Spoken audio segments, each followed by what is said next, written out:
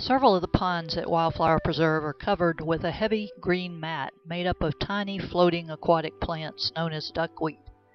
Duckweed thrives in still water with high nutrient levels.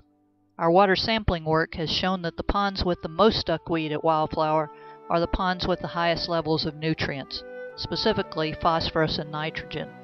The pond that we call Duckweed Pond has especially high nutrient levels. We believe these high levels are a result of treated sewage effluent that was pumped into this pond when Wildflower was a golf course. The high nutrient water was used to irrigate and fertilize the course.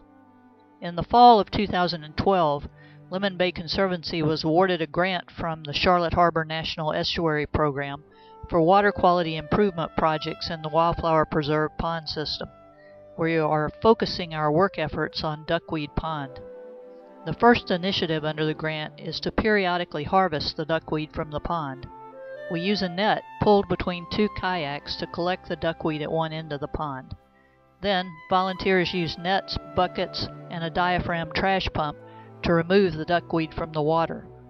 Because duckweed absorbs large amounts of nutrients as it grows, by periodically removing it from the pond, we can gradually reduce the excess nutrients in the water. As a side benefit, the dried duckweed can be used for fertilizer. In some parts of the world, duckweed is also used to feed farm animals. A second initiative under the grant is the installation of two floating islands called bee mats in the ponds. The floating islands are made of closed cell foam with openings cut for small cups that hold aquatic plants. Over time, the plants placed in the mats grow hydroponically and absorb nutrients from the pond.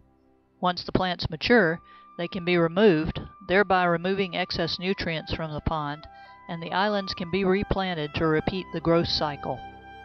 The third water quality initiative funded by the grant is the installation of a solar aerator for Duckweed Pond. The aerator system adds oxygen to the water column to improve pond health. We'll be measuring the levels of nitrogen, phosphorus, and chlorophyll in Duckweed Pond over time to see if our efforts are working.